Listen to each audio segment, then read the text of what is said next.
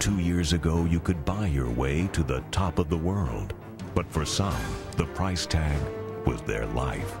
Now, the biggest names in mountaineering are saying enough is enough. After you've been there so many times, you realize the risks. Your luck can run out on that mountain.